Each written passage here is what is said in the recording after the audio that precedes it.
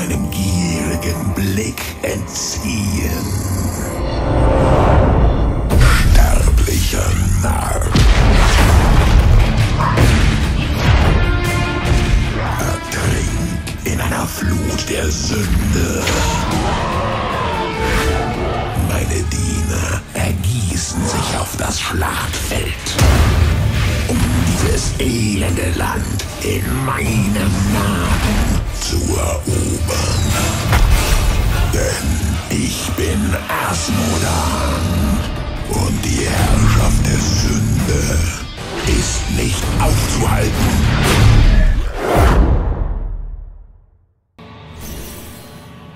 Ich bin der wahre Herrscher der Hölle. Und damit herzlich willkommen bei Rotmek erklärt. Ich bin Rotmek und heute schauen wir uns Asmodan an. Wir halten das Format wie immer. Zuerst ein bisschen Hintergrundgeschichte zum Charakter, danach schauen wir uns die Fähigkeiten und Eigenschaften im Spiel Heroes of the Storm an und dann schauen wir uns die Talente an und am Schluss schnuppern wir ein bisschen im Shop rum, welche Skins für Asmodan zur Verfügung stehen. Zuerst aber ein paar Hintergrundinformationen zum Charakter selbst. Asmodan, der Herr der Sünde, ist eines der vier niederen Übel und Mitinitiator des dunklen Exils. Nachdem die drei großen Übel, Diablo, Mephisto und Baal, nach Sanctuario verbannt wurden, stürzt sich Asmodan und Belial in einen Bürgerkrieg um die Vorherrschaft der Hölle, welche Asmodan schließlich gewonnen hat. In Diablo 3 schickt Asmodan ein mächtiges Heer aus Dämonen gegen die Menschheit, um an den Seelenstein zu kommen und mit der Macht der eingeschlossenen Erzübel die Herrschaft über Hölle und Erde sowie einen Vorteil im Kampf gegen die Himmel zu erlangen. Ob dies Asmodan gelingen wird, könnt ihr in Diablo 3 selbst nachspielen. Ich werde an dieser Stelle nicht alles verraten.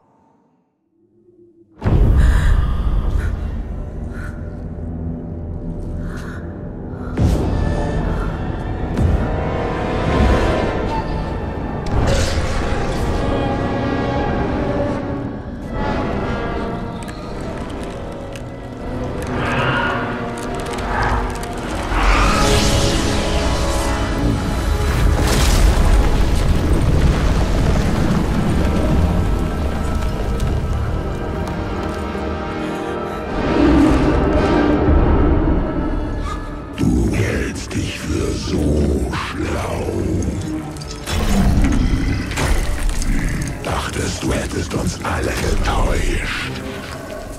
Meine Brüder sind einer nach dem anderen in deine Falle getappt. Doch nicht ich.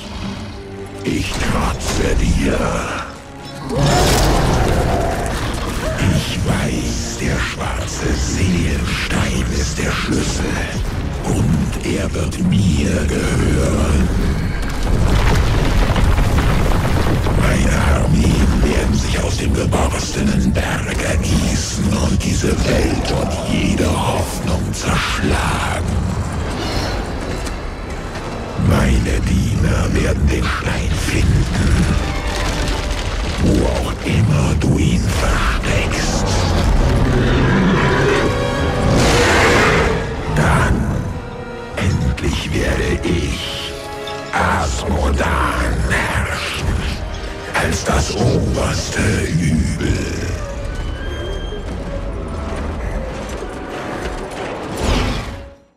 Soll es zur Geschichte gewesen sein. Wir machen weiter mit den Eigenschaften und Fähigkeiten vom Charakter. Und da beginnen wir mit Kugel der Vernichtung.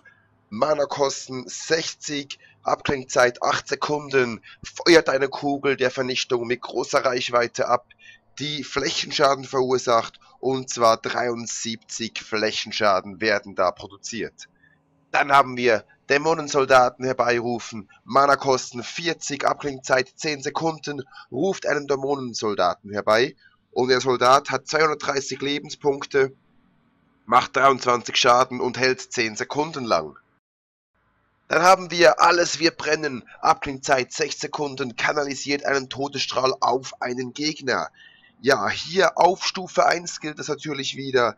Wird 68 Schaden pro Sekunde verursacht. Der Schaden nimmt zu, je länger kanalisiert wird, bis maximal 136 Schaden pro Sekunde, das immer noch auf Stufe 1 und fügt Gebäuden 25% mehr Schaden zu. Und dann haben wir die Eigenschaft General der Hölle, Abklingzeit 30 Sekunden, der Held ruft einen General der Hölle herbei, der Diener, Söldner und herbeigerufene Kreaturen unterstützt. Die Unterstützung sieht folgendermaßen aus.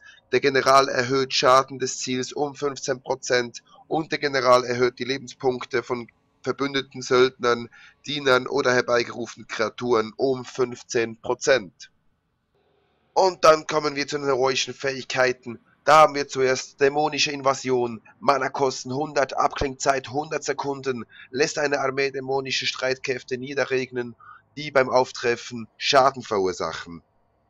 Und so sieht das dann genau aus. Beim Auftreffen werden 25 Schaden verursacht. Krieger verursachen dann 22 Schaden und sterben nach vier Angriffen. Und Schaden gegen nicht heroische Ziele sind doppelt so hoch. Dann haben wir noch als zweite heroische Fähigkeit Dunkle Macht der Hölle. Mana kosten 60, Abklingzeit 20 Sekunden. Er schafft eine Lache, die den Helden und seine Armee verstärkt. Und zwar wird Angriffs- und Fähigkeitsschaden in der Lache um 75% erhöht und die Lache selbst bleibt 5 Sekunden bestehen. Und wir machen weiter mit den Talenten. Da haben wir auf Heldenstufe 1 folgende Talente zur Auswahl. Blut geleckt, durch die Kugel der Vernichtung getöteter Gegner erhöhen den von ihr verursachten Schaden dauerhaft um 1. Wir haben tobende Belagerung, erhöht den Schaden beim Auftreffen um bis zu 50%, je nachdem wie weit das Geschoss geflogen ist. Wir haben keine Erbarmen, alles wird brennen, zerstört pro Sekunde ein Schuss Munition von Gebäuden. Heilungszauberschutz hat eine Abklingzeit von 60 Sekunden. Aktivieren, um einen Zauberschutz auf dem Boden zu platzieren, der Verbündete im Wirkungsbereich 10 Sekunden lang pro Sekunde um 3% ihrer maximalen Lebenspunkte heilt. Und zum Schluss haben wir auf Heldenstufe 1 noch Bestechung. Gewehrbestechungsstapel für das Töten gegnerischer Dienern. Mit 20 Stapeln können anvisierte Söldner bestochen und sofort bezwungen werden. Funktioniert nicht bei Golems. Dann haben wir auf Heldenstufe 4 Überlegenheit verringert den durch nicht heroische Gegner erlittenen Schaden um 50%. Höllenarmee erhöht die maximale Anzahl der Aufladungen von 2 auf 3 verbrennt die Schwachen, erhöht den Bonusschaden gegen Gebäude auf 50% und weitet ihn auf Dienern und Söldner aus. Maßlosigkeit. 15% des von alles wird brennen verursachten Schadens wird in Lebenspunkte für den Helden umgewandelt. Und den Sklaventreiber. Wenn der General der Hölle bei einem Diener eines Weges herbeigerufen wird, erhöht er dessen Schaden um 100% und Lebenspunkte um 300%. Dann auf Stufe 7 Söldnerfürst, gewonnene Söldner erhalten folgenden Boni, Riesen 50% mehr Schaden und die Ritter 50% mehr Lebenspunkte.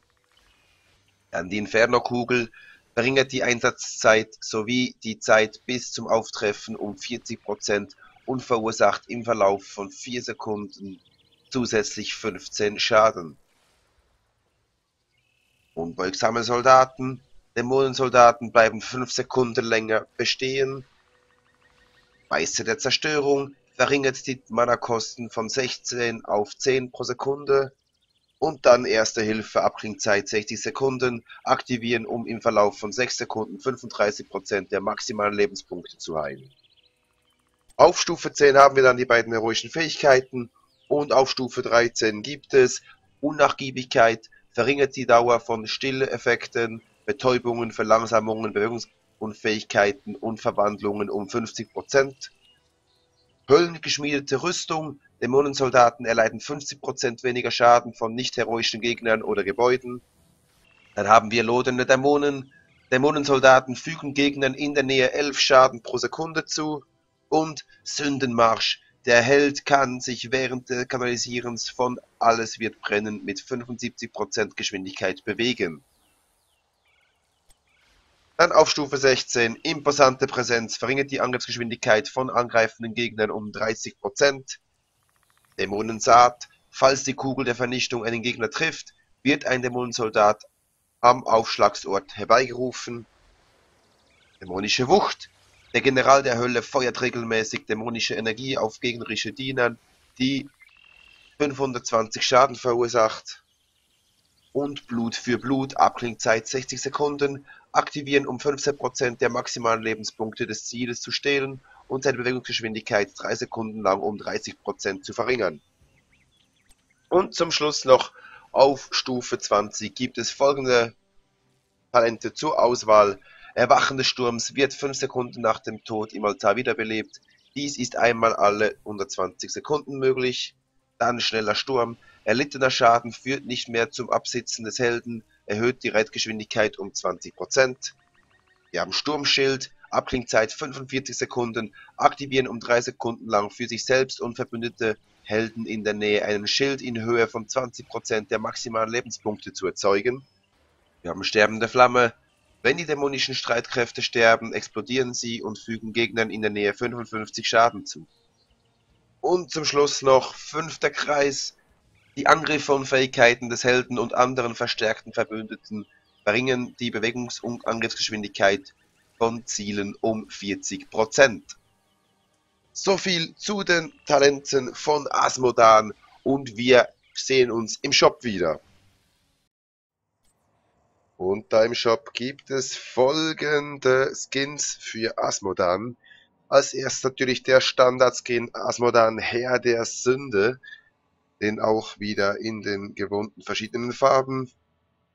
Dann gibt es den Elite Asmodan. Der ist wieder ab Heldenstufe 10 für 10.000 Ingame Gold zur Verfügung. Und am Schluss dann der kaufbare Skin für 6,49 Euro gibt es den Asguldan. Also eine Mischung zwischen Guldan und Asmodan. Und auch hier verschiedene Farben. In Rot, dämonisches Blut. Sieht doch ganz schick aus. Ja, das war's auch wieder für heute von Rotmek erklärt. Heute mit Asmodan. Wenn euch das Video gefallen hat, dann würde ich mich sehr über einen Daumen nach oben freuen. Ihr könnt natürlich auch meinen Kanal abonnieren. Ich wünsche euch einen schönen Tag. Wir sehen uns. Bis zum nächsten Mal. Euer Rotmek.